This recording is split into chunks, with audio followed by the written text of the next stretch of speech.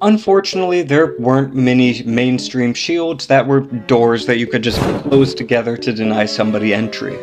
However, if we take just one of those doors, then shields of that size did exist. Now to kill two stones with one bird, a lot of people ask me if Japan used shields at all, and they did. Meet the Tate, a large shield that was essentially just placed in the battlefield and then archers fired around it. They could also be carried by less prestiged troops, and when worn on the back, they offered a lot of protection during a retreat. And it's pretty much the size of a door.